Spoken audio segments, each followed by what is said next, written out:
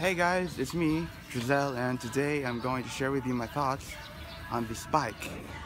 Faded in the city with my team, smoking, drinking, doing our own thing. Yeah, uh, G hit the poster child.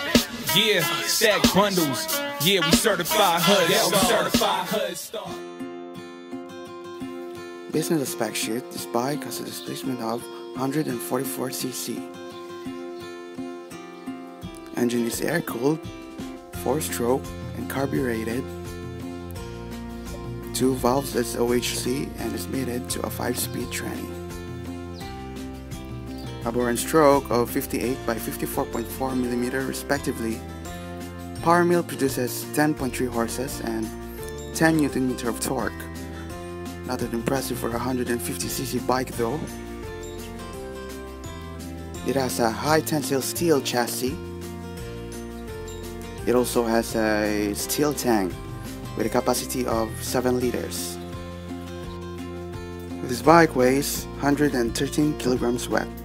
And when you say wet, that means a full tank of gas along with your engine oil and so on. It has a push start button and it also has a Kickstarter.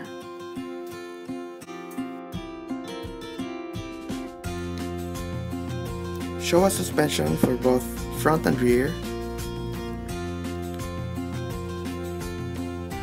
Suspension has been set up on the softer side, just what we all expect on a dirt bike. It has a decent stopping power on it too, thanks to the Nissin disc brakes double piston on the front and single on the rear.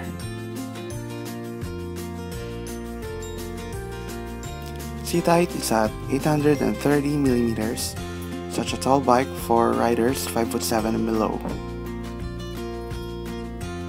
And here's for your reference. I'm 5 foot 5 tall and as you can see I'm on my tiptoes.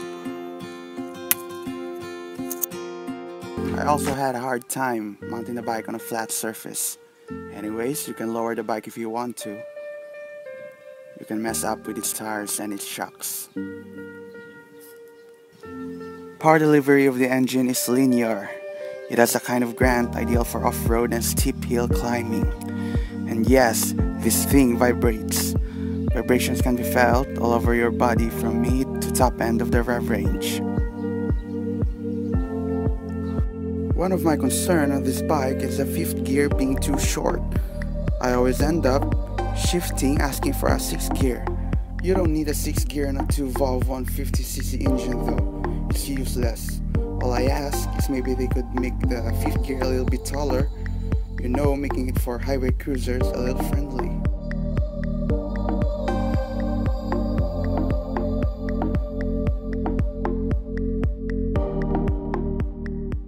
My other concern is its price tag. Damn, this bike costs around 125,000 to 130,000 Philippine peso and I think that is too much for what this bike could offer. Uh, for that price, they could have made the engine um, liquid cooled and fuel injected. They could have also made the console somehow digital. Come on, look at this. This dash doesn't look like a 130 grand bike. They could have priced this bike at around 85 to 95k. Yeah, uh, uh, G hit the poster child. So that's my take on the 2017 KLX 150 guys.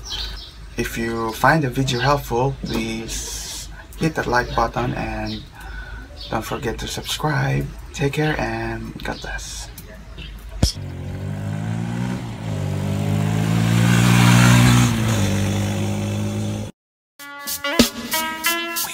Yeah, uh, G hit the poster.